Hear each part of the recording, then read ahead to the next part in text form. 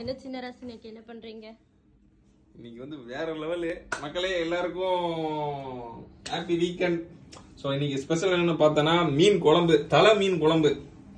தலையை மட்டும் துண்டா தனியா வெட்டி பீஸ் பீஸா போட்டு மீன் குழம்பு. சரி என்ன மீன்? இது வந்து ஒயிட் ஸ்னாப்பர்னு சொல்லிட்டு மலையாளத்துல என்ன சொல்லுவாங்க?